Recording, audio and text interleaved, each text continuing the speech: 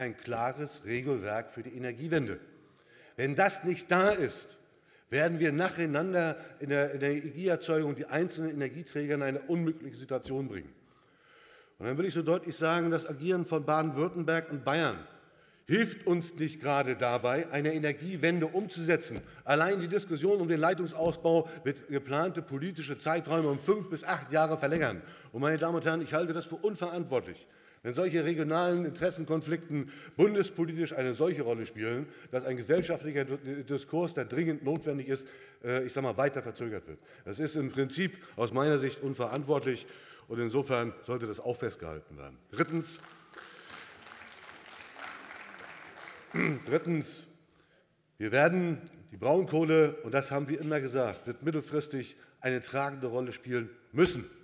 Und weil das so ist, und weil das so ist, bin ich sowohl der Landesregierung als auch den Fraktionen, die sich daran beteiligt haben, und allen Akteuren dankbar dafür, dass wir jetzt die Sicherheit haben, in weiteren Gesprächen und politischen Weichenstellungen den Strukturwandel in der Lausitz fortzusetzen. Wir sollten doch nicht so tun, als wenn er gerade erst begonnen hat.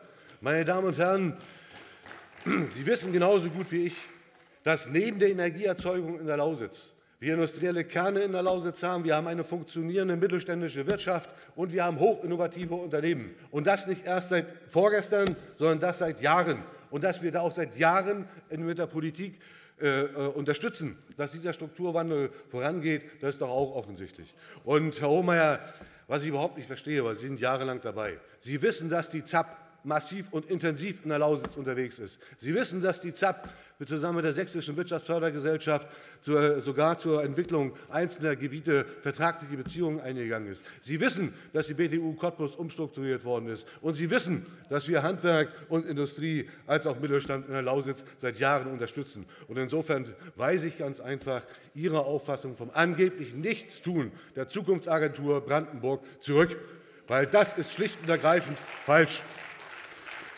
Und, meine Damen und Herren, auch an dieser Stelle möchte ich mich an einen Punkt äh, äh, in die Debatte, ich sage mal, noch mal weiter einschalten.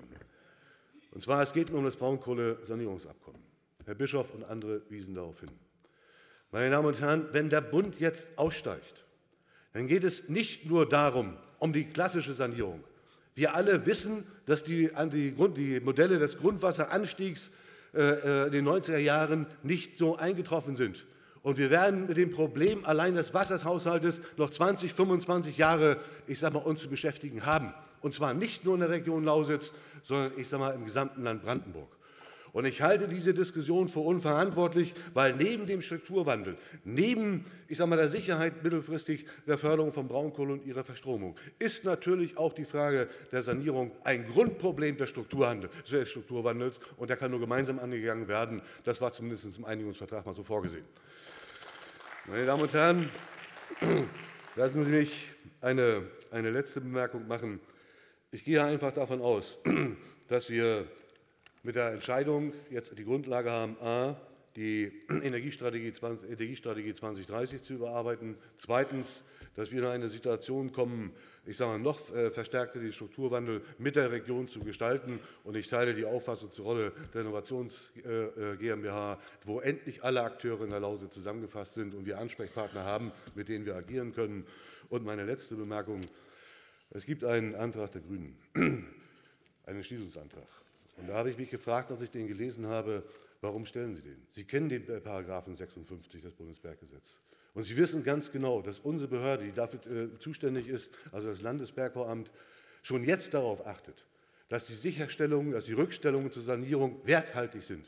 Eine Insolvenzgefahr sozusagen abzuwenden mit Rückstellungen geht über den 56 nicht. Das wissen Sie auch. Und warum fordern Sie das denn und bauen, äh, ich sage mal, zum zweiten Mal oder zum wiederholten Male ein, eine, eine Kulisse auf, die politisch und inhaltlich nicht umzusetzen ist?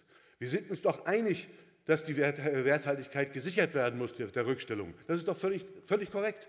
Aber das geht nicht über dieses Instrument. Und ich darf sagen, dass unser Bergbauamt seit Jahren darauf achtet, dass die Rückstellungen werthaltig sind, und zwar im Rahmen dessen, was sie sein kann. Vielen Dank.